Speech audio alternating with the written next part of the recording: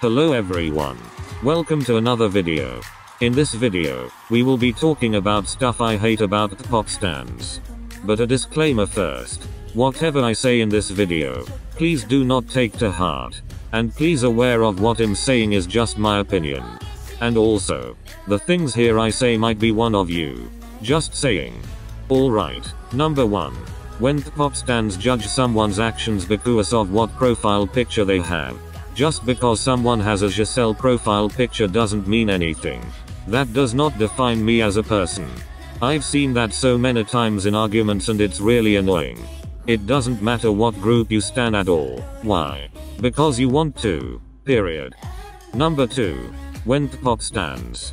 Bring up unnecessary things for no reason at all. Have you ever just been having a good time? Then this random bozo comes in talking about problematic things that the pop idol you stand done. Like are you for real? Did you think you ate? Why bring such things up out of the blue like that? It's really annoying and not cute. Number 3. When pop stands take comments too seriously. I've seen this happen many, many times.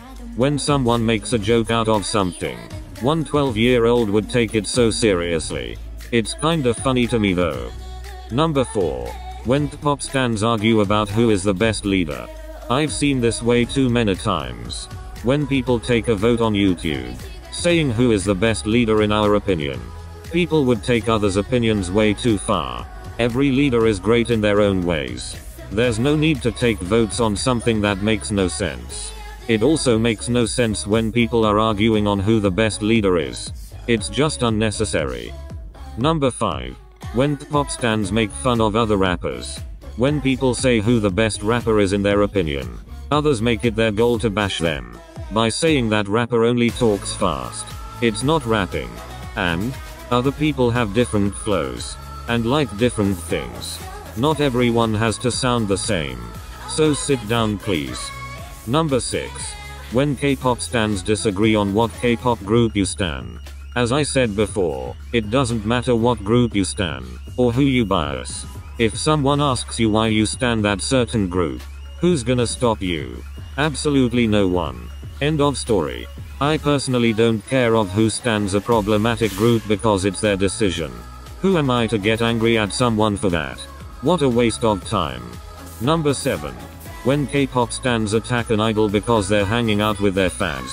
One time, MOAs were literally starting a war just because IN and Beomgyu are friends. Also telling him to stay away from IN. You should definitely feel embarrassed after saying that. Stop being mad because Beomgyu isn't friends with you. Come on now. Stay mad folks. Number 8. When girl group stands make it their goal to hate on almost every boy group stan. Let me make this clear. We all love someone who stands only girl groups. Some girl group stands are really funny, and just has a nice vibe. But some girl group stands are awful. Constantly bringing boy groups down. Saying to bring real men back. Tell me, does that make any sense to you? Just get ready to fuck off my face if you're going to come to me with that type of energy. Because I will not condone bringing others down.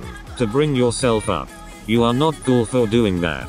And if you condone that type of behavior, you can ask Naevis for help. Anyways. Thank you for watching this video. Thank you for even clicking. Goodbye now.